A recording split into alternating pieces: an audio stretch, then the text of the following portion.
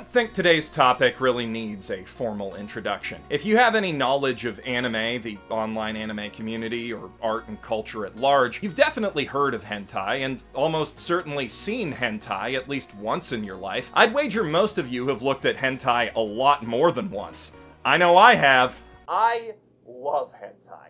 Hentai is one of my all-time favorite things. In fact, not a single day or even hour goes by that I'm not thinking about hentai. But perhaps that means my perspective's a bit skewed on this. I have a bad habit of assuming everyone I talk to is on the same page as me about things I love as much as I love hentai, and I've been proven wrong more than once. So before diving into the soft, pink, jiggly meat of this discussion, a quick history lesson is probably in order. Digimon Adventure first premiered in Japan, both in theaters and on television, in March of 1999. Based on a monster battling driven spin off of Bandai's popular Tamagotchi toy line, and inspired by the world changingly successful anime marketing campaign surrounding the similarly themed Game Boy RPG Pokemon, this anime follows a group of children and their talking monster companions, led by a spunky, courageous, conspicuously begoggled young man named Tai. Chickens first premiered on Earth in either meat or egg form, the philosophical jury's still out on that one,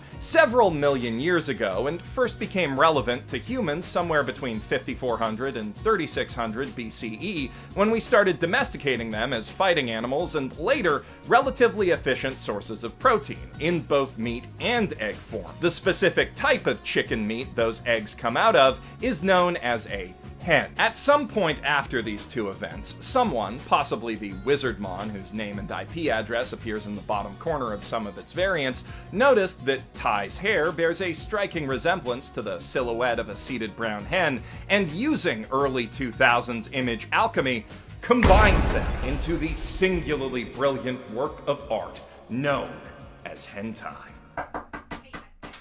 Can it wait? I'm recording. No, I, I just. I, as soon as I'm done, I promise. Okay, okay, okay.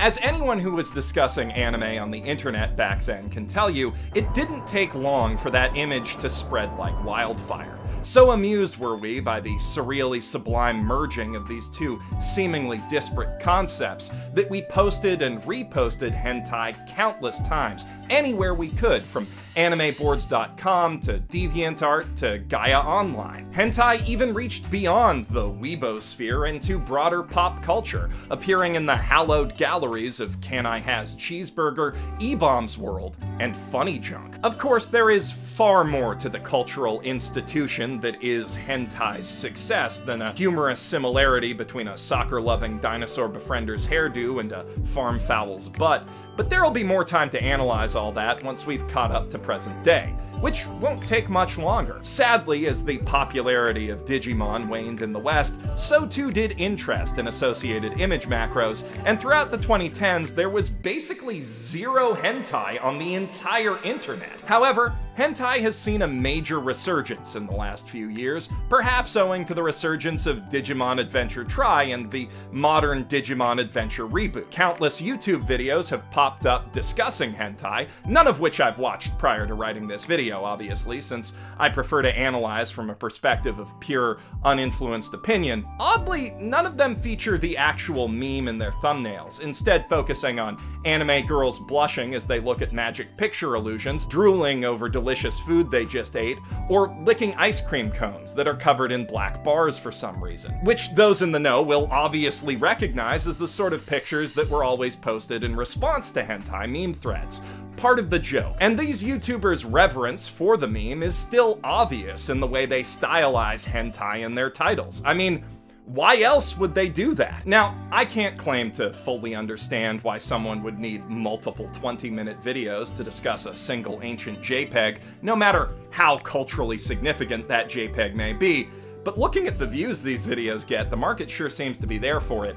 And as someone who was there in the hentai trenches as a teenager, enjoying hentai on a daily basis, as someone who still frequently looks at hentai today, with an entire folder dedicated to hentai on my desktop, I think I can contribute something meaningful to this conversation. So, with all this precedent and context established and my preamble concluded, it is at last time to begin our deep, academic analysis of the themes and composition of this legendary.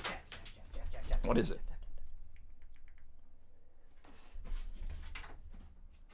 Oh.